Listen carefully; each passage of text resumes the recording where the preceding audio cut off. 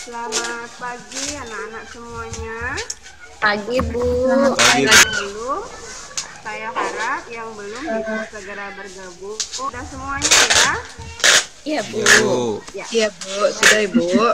Ya. Oke, ya, selamat pagi. Gimana kabarnya semua? Sehat? Alhamdulillah Bu, sehat Bu. Ibu. Syukurlah semua masih eh, dalam keadaan sehat. Kita mulai pembelajaran. Alangkah baiknya kita berdoa terlebih dahulu. Ketua kelasnya di sini. Baik, Bu. Baik teman-teman, sebelum kita sesuai dengan agama dan kepercayaannya masing-masing. Berdoa dimulai. Selesai. Ya, terima kasih Harif sudah memimpin doanya. Eh, baik, anak-anak semuanya sudah mengisi absen sesuai dengan link yang sudah saya bagikan. Silahkan absen terlebih dahulu sehingga kehadiran kalian terekam di sini. Baik, Bu. Hari ini kita akan mempelajari mengenai garnish ya. Saya akan tayangkan itu di materi pertemuan kita hari ini itu ada kompetensi dasar yang kita pelajari itu ada dua yaitu menerapkan plating garnish kemudian melakukan garnish yang nantinya akan kalian praktikkan pada pertemuan pertemuan berikutnya. Nah, adapun tujuan dari pembelajaran kita hari ini itu ada dua yaitu kalian bisa eh, menentukan pengertian dan fungsi garnish plating dengan baik. Kemudian juga kalian bisa menentukan syarat-syarat daripada garnish itu sendiri. Ya. Nah, kemudian eh, penilaian Ibu masih akan dinilai yaitu ada pengetahuan di mana nanti kalian akan melakukan eh, pengerjaan proses yang sudah mis- eh, yang sudah Ibu bagikan eh, dalam Google Form tampilannya dan tentunya sikap. Sikap walaupun kita secara virtual di sini kita juga tetap menilai bagaimana sikap kalian di dalam ini ya. Nah, untuk materinya ada beberapa materi yang kita pelajari. Yang pertama itu ada pengertian plating dan garnish.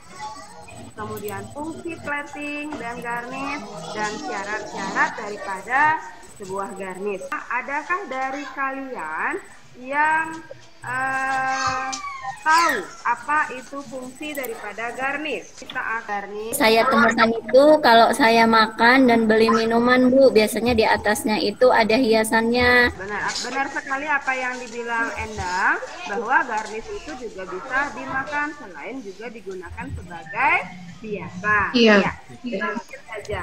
Nah, di sini Ibu sudah sediakan kalian sebuah video. Silahkan kalian simak terlebih dahulu videonya.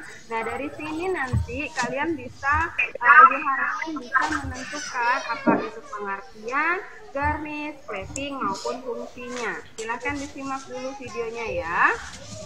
Iya Bu. Ya, ini videonya. Silahkan kalian simak terlebih dahulu.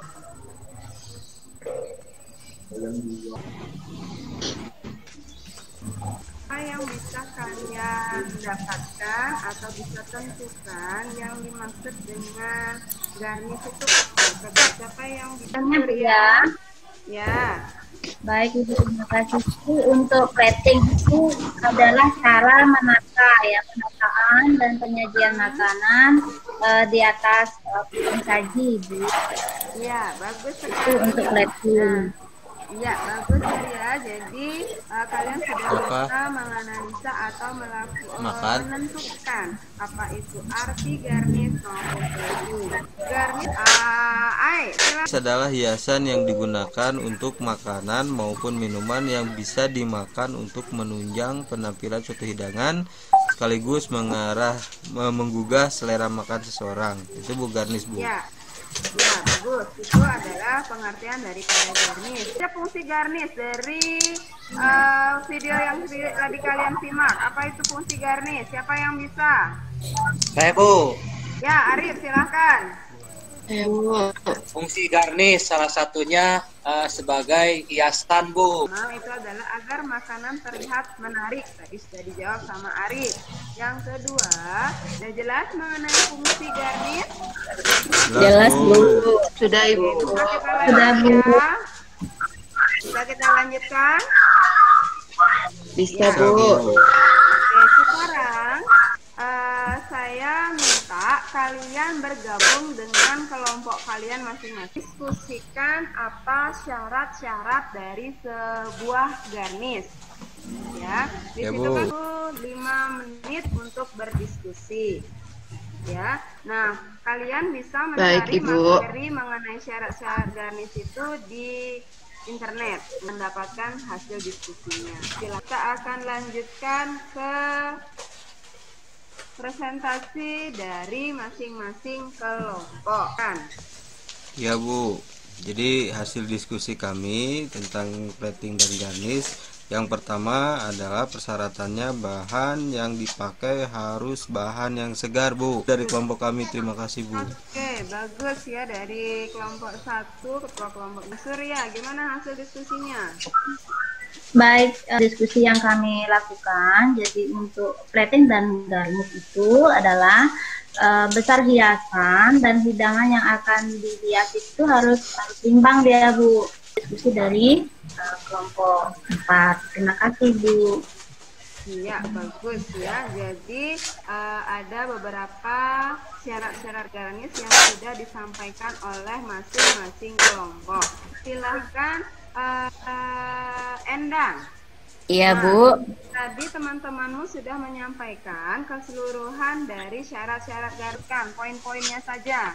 Baik, Bu. Yang pertama itu bahan yang digunakan itu harus bersih, Ya, sehat, tidak berulat. betul. Nah, Ibu punya. Nah, ini tadi beberapa syarat-syarat garnis ya. Sudah bisa dibaca di slide-nya ya. Bisa Bu. Ya, Bisa Bu, ya Bu. syarat-syarat daripada garnis.